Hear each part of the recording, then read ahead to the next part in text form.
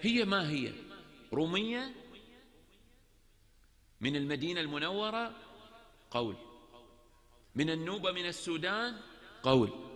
جابوها سبية لو كانت متربية عندهم؟ قول. هذا التضارب يجعلنا لا نعتقد بما تعتقدون. استغلوا هذا الغموض لإنكار وضرب العقيدة المهدوية. زين إحنا في المقابل شنو نسوي؟ طبيعي. نلقى أن هناك نرى هجوما فشنو لازم نسوي؟ دفاع. نحن نريد أن نتكلم هنا في آلية الدفاع الصحيحة. فإن البعض من الباحثين الكرام لأجل أن يدافع عن السيدة نرجس وعن ابنها صاحب الزمان الرواية اللي عليها إشكال قال يا أخي مو لازم إحنا نتمسك بها نضربها نرميها نتمسك برواية أخرى ما عليها أي إشكال ولا عليها أي مشكلة. وهو جهد مشكور حقيقة ومحاولة للدفاع. لكننا نقول هنا نضع ملاحظة مهمة. نسف ما عندنا يجب أن يكون على وفق دراسة وبعد نظر حيث لا يصح أن نرفع يدنا عن أي شيء أوصله إلينا علماؤنا أوصله إلينا علماؤنا إلا بعد التأكد من عدم جدواه. لا نستعجل يعني بعبارة أخرى. يا إخوان من عصر الغيبة الصغرى إلى الآن في كل جيل يمر. هناك علماء عظام. لهم هم وحرص على إيصال المعلومة الصحيحة. ما كانوا عشوائيين ولا غوغائيين ولا قلة ذكاء عندهم ولا قلة خبرة عندهم. خصوصا في الأخبار التاريخية كل ما كان العالم قريب من الخبر التاريخي نثق به أكثر من اللي يجي يقيم خبر ويرد خبر بعد 1400 سنة. صح لو لا؟ أنت الآن واحد معاصر لزمان الحادثة عندك خبر من عنده. وواحد يجي بعد ألف سنة يضع علامة إشكال على هذا المعاصر للحادثة. شلون قال هالشكل؟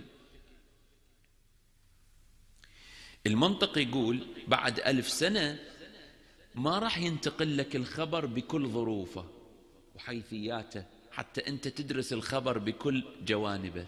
راح ينتقل لك الخبر فقط. من غير معرفة الظروف المحيطة به. لذلك راح تستلم الخبر خالي من الظروف فراح تتولد عندك إشكالات. هذه الإشكالات ما يصير ترد بها الخبر إلا بعد التأكد من أن هذا الخبر سقيم. أنا ليش جبت هالكلام؟ الرواية المشهورة شهرة عظيمة في هوية السيدة نرجس. هي رواية مفصلة. دأب الناس على قراءتها في مولد الإمام الحجة سلام الله عليها. أنها سيدة من الروم. نرجس بنت يشوع أو يسوع ابن قيصر ملك الروم. شلون اجت؟ في قضية مفصلة. لما أرادوا أن يزوجوها من ابن اخو جدها وكانت بعمر الثالثة عشر خلاصة تساقطت الصلبان. حاولوا مرة أخرى أيضا سقط عمود فأغمي على هذا الخاطب. رأت في الرؤيا كأنما رسول الله صلى الله عليه وآله يخطبها من منو؟ من المسيح عليه السلام. وشمعون جالس والحواريين لأنها من طرف الأم نسبها يمتد إلى الحواريين. يخطبها لأجل ابنه أبي محمد الحسن العسكري. ثم تتوالى الأحداث ويصير غزو بين الروم والمسلمين وهي تهرب. ثم تقع عند بيد الجنود يبيعوها في بغداد. يأتي بشر ابن سليمان النخاس من سامراء مبعوث من قبل الإمام الهادي يشتريها من بغداد ويجيبها يدفعها الإمام الهادي إلى السيدة حكيمة لتعلمها علوم الدين والشريعة ثم تتزوج من الإمام العسكري فتلد نرجس. هذه الحادثة المشهورة المعروفة. هذه الحادثة تعرضت لكثير من علامات الاستفهام. نريد نشوف هذه علامات الاستفهام في محلها أو لا؟ ونظرا أعيد وأكرر. نظرا للأسباب التي قدمتها في الصعوبة التي يواجهها الباحث حين البحث عن أمهات المعصومين فنحن هنا لا نريد أن نجزم ونقطع بشيء. لأننا نؤكد على أن القضية غامضة. لكن نريد أن نعرف أن هذه القصة قصة خرافية لو لا قصة معقولة ومقبولة وفق الموازين. الإشكال الأول قالوا هذه الرواية ضعيفة السند. بها مجاهيل.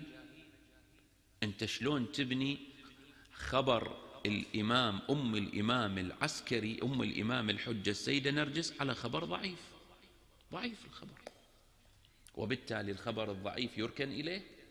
ما يركن إليه. الجواب. أولا بغض النظر عن الخبر ضعيف لو مو ضعيف. هذا الخبر وين شفناه؟ وين موجود؟ موجود عند أساطين بعضهم. كان في الغيبة الصغرى. إيش رأيك؟ مثل الشيخ الصدوق في كمال الدين وتمام النعمة. الشيخ الصدوق من علماء الغيبة الصغرى. كم بينه وبين الحادثة بالله عليك؟ غيبة الصغرى كم بينه وبين الحادثة؟ وينقل لك هذا الخبر. خب إذا كان أكذوبة وخرافة هو أعرف من غيره إذا كان كاذبا الخبر. قريب من الحادثة من الواقعة. ومثل الشيخ الصدوق لا يعرف بما لا يعرف حاشاه من بعده؟ من أعلام القرن الخامس. الشيخ الصدوق متوفي 380 381 أعلام القرن الرابع. من بعد القرن الخامس الشيخ الطوسي ذكر القضية. أيضا من المعروفين من, من المعروفين بأنهم يعتمد عليهم في نقل هذه الأمور. ابن شهر آشوب في المناقب.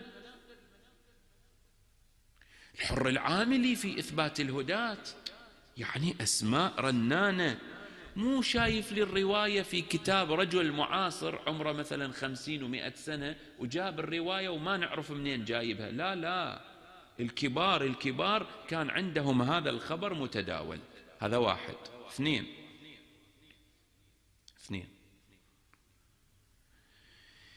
هذه الرواية المشهورة اللي بها هذا الكلام تؤيده زيارة السيدة نرجس. زيارة السيدة نرجس ذكرها السيد بن طاووس وذكرها المزار المشهدي في المزار. وذكرها الشيخ المفيد كما نقل الشيخ المجلسي في البحار. بعض نصوص زيارة السيدة نرجس شنو تقول؟ أقرأ لك. السلام عليك يا شبيهة أم موسى وابنة حواري عيسى نفس مضمون قصة بشر. السلام عليك أيتها المنعوتة في الإنجيل المخطوبة من روح الله الأمين. ومن رغب في وصلتها محمد سيد المرسلين.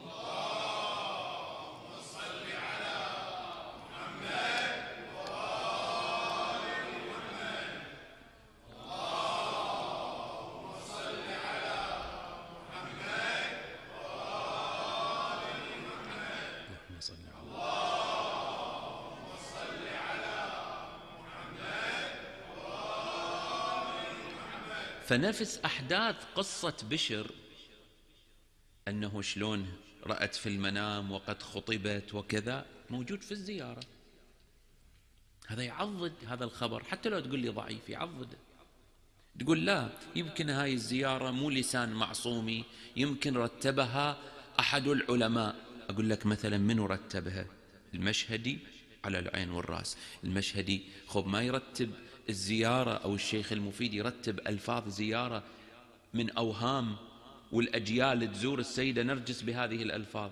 سيد ابن طاووس إذا كاتبها خب ما يرتب من أوهام يرتب من, من حقائق مثل ما تقف على قبر السيدة زينب سلام الله عليها تقول السلام عليك يا جبل الصبر مثلا. يعني وهم أن زينب جبل الصبر؟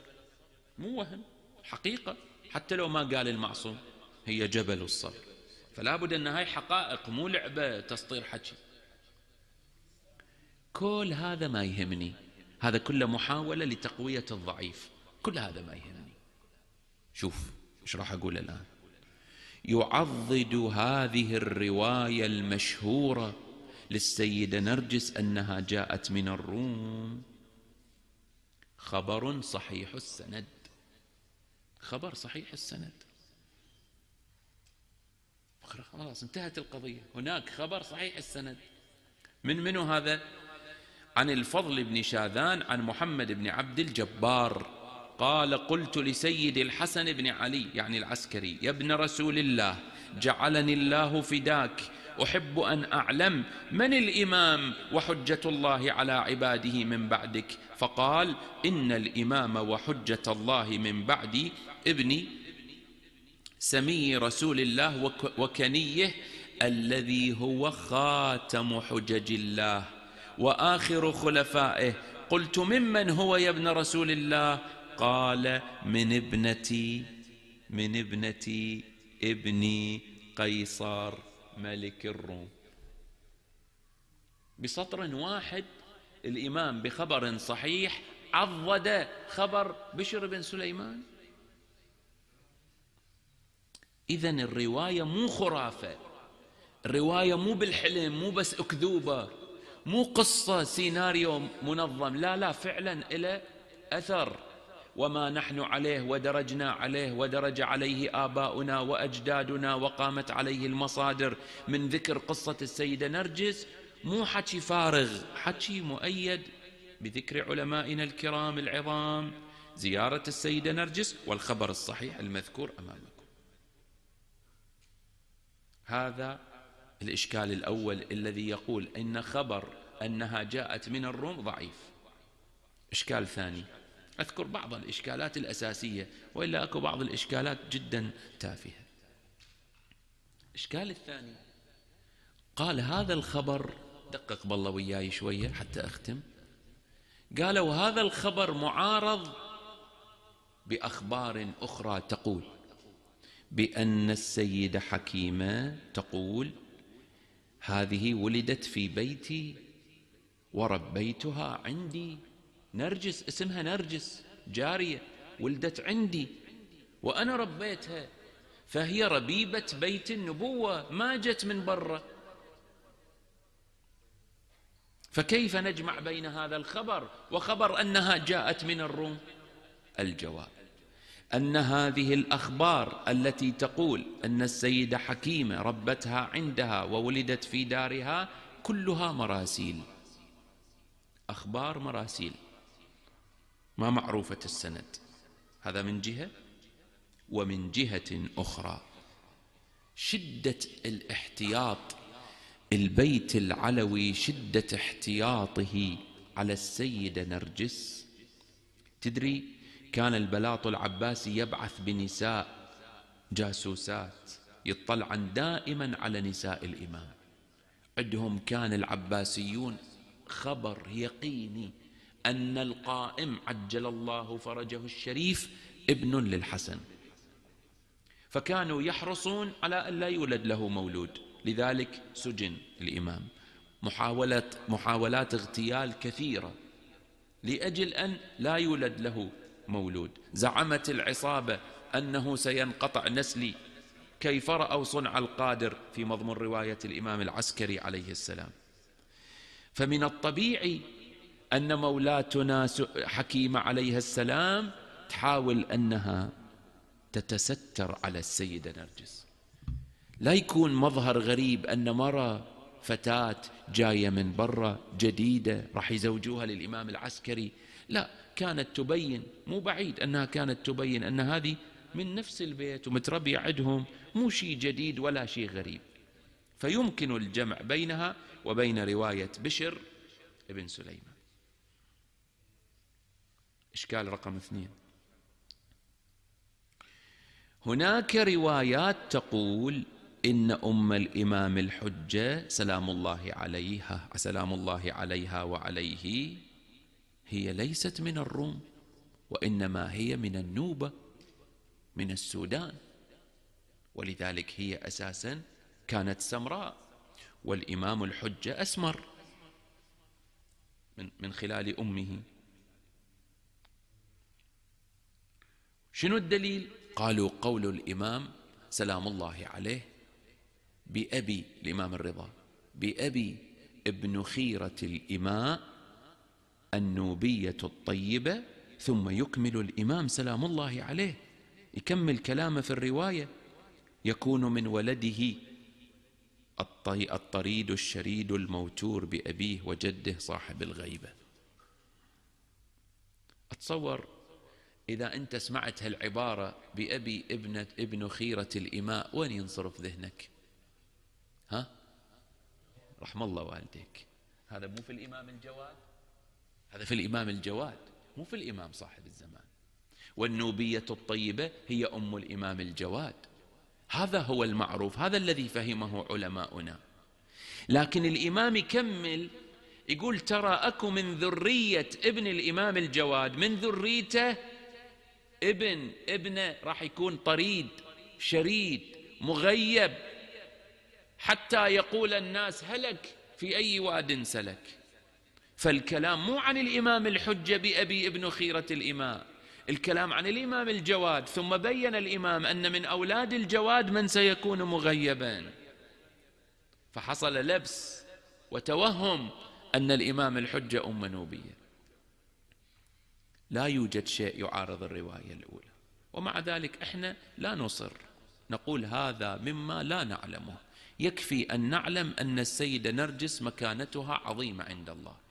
والله لا نجزم بشيء لكن الذي يدعونا إلى هذا البيان هو اتهام الرواية الأولى بالخرافة. هي ليست خرافة بل مؤيدة ببعض الروايات الصحيحة السند ويكفي في فضلها وشرفها ومكانتها أنها أم أن رحمها استحق أن يكون مجمعا لشخص هو مجمع الكمالات كما قلت لك البارحة. صاحب الزمان مجمع كمالات الأنبياء مجمع كمالات الأوصياء. والذي تكون أم والذي يكون هكذا ما شأن أمه؟ على أي مقام أم اللي تستحق أن تصير في رحمها؟ هذا المولود العظيم أمل البشرية. الرواية ينويها يرويها الشيخ الصدوق.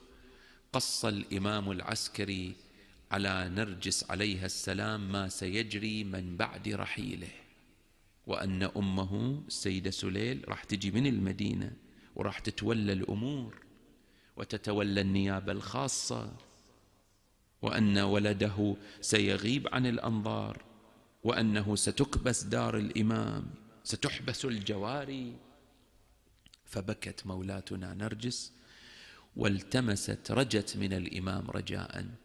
قالت له أدعو الله أن يقبضني إليه في حياتك. أريدك أنت سيدي أبو محمد. أنت تغسلني وأنت تكفني وتصلي علي وتدفني.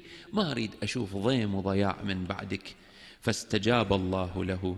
دعا لها واستجاب الله لها أمنيتها وتوفيت في حياة الإمام. سلام الله عليه ودفنها وكتب على قبرها هذا قبر أم محمد. لما كبست دار الإمام بعد ذلك أخذوا جارية على أساس هي باسم صقيل كانت قد تقمصت شخصيتها حتى بنفسها تدرأ الضرر عن البيت العلوي. دعت أنها حامل وأخذوها وظلت سنة في السجن. محبوسة في دارها مع رقيب عليها إلى أن فرت تدهور الوضع العباسي وفرت هي. وأما السيدة نرجس فقد توفيت في حياة الإمام العسكري سلام الله عليه.